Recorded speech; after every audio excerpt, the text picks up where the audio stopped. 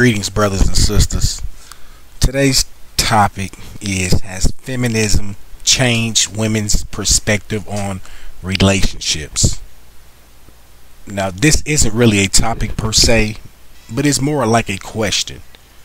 Traditionally, men have been designated the breadwinner of the family unit, but just for argument's sake, let's just say that women are the designated breadwinner for the family unit.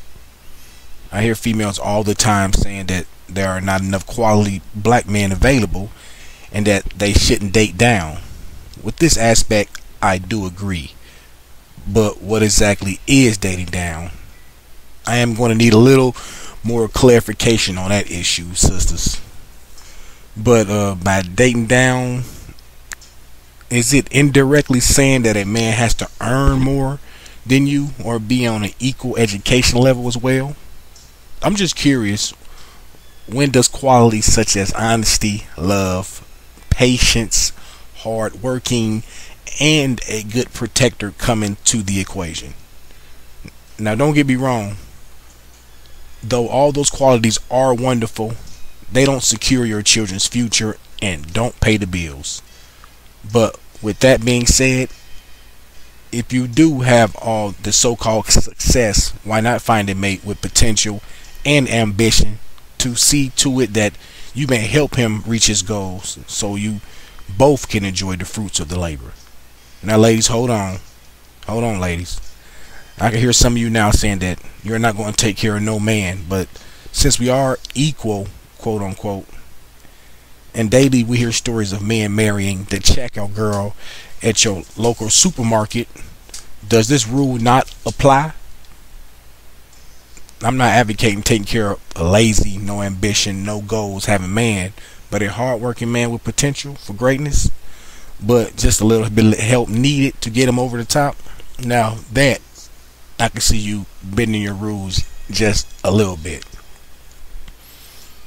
Now, not to paint with a broad brush, but there is a good portion of women out there who spew cliches constantly, like, girl, get that money. Come on now, sisters. What have you done for me lately? We can't forget about that one. Now, what's that song? Um, ain't nothing going on but the rent. You gotta have a job if you want to be with me. And I shall be remiss, and we should not forget the queen bee. All hail the queen. Bow down beneath her feet. No, I'm just joking. You know, but you know, she penned songs like Miss Independent Surviving. Uh, what's that one song? If you like it, you got to put a ring on it.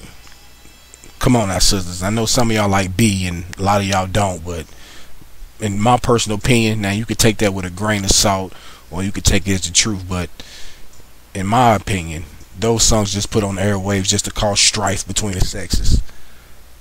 Now, I'm not saying that by any means that you should settle and I'm not trying to paint that picture. But what I am looking for is are answers to these very questions that I'm asking you. And since equality is the key word here that we're dealing with, but I am noticing a little bit of the cake and eat it too mentality.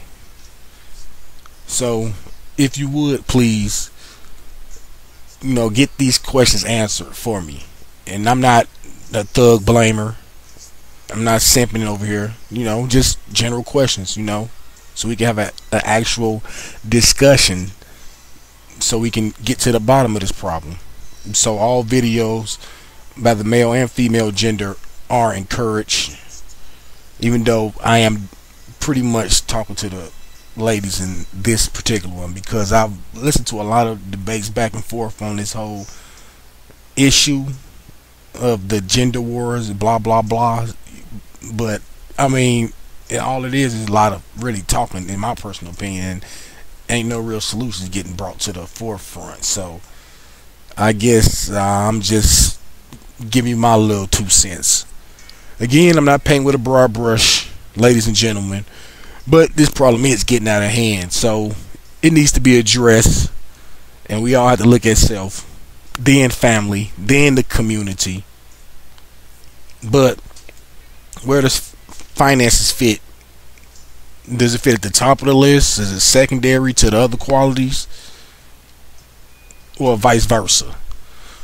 So I don't want to ramble on, but those are just my basic questions I had on the whole you know relationship as far as women you know wanting the man to pay and blah blah blah and you know holding the door open which you know those right there are gentleman qualities anyway so if you're a lady you, you should be should at least expect that you know but we're basically dealing with the aspects from a financial and basically a financial and educational standpoint so again, this the DLP 054 has been real, and I know I'm just a little biased. And peace be on to you.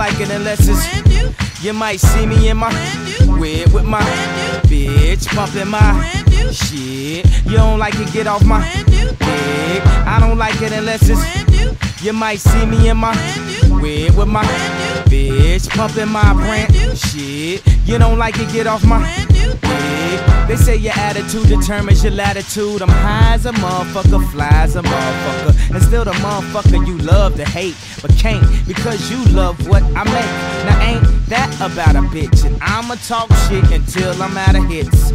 They don't wanna turn their speakers up, they claim I ain't deep enough. All that talking I feed off of, keep it up. I'm relaxing, my feet is up. I'm leaving you haters like when Shaq left the Lakers just to heat it up. I state the stats to stunt, I don't need the front. Make black history every day, I don't need a month. The survey says by the streets according, Kanye just important as Michael Jordan was to the NBA when he was scoring. Ralph Lauren was boring before I wore him, and I don't like it unless it's. You might see me in my whip with my bitch pumping my shit. You don't like it, get off my dick. No wait, I don't want it unless it's. You might see me in my whip with my bitch pumping my shit. You don't like it, get off my women hit the mall or some shop at the thrift store. Some of them mix and match and make it look like they get more. Some of y'all know you wear 16, squeezing into a six. Damn, what you make them jeans rip for? I guess she looking for a brand new man who ain't always gotta sit down cause he can't stand you. Boo, this the brand new jam to dance to. Why you giving me hair like shampoo. Come as you came, skip the brand name. I won't brand you. What you do here, stay here like Cancun. Besides, your breast is augmented. I like things authentic. Look at all my whips, they're all vintage. I got a loft with a view of the sea. See, I take some old shit and make it new for me. Pimp it out like Xzibit to the nth degree. Why spend an arm and a leg? We can kick it for free. And see, I don't like it unless it's. brand new. You might see me in my whip with my bitch pumping my shit. You don't like it? Get off my dick, nigga.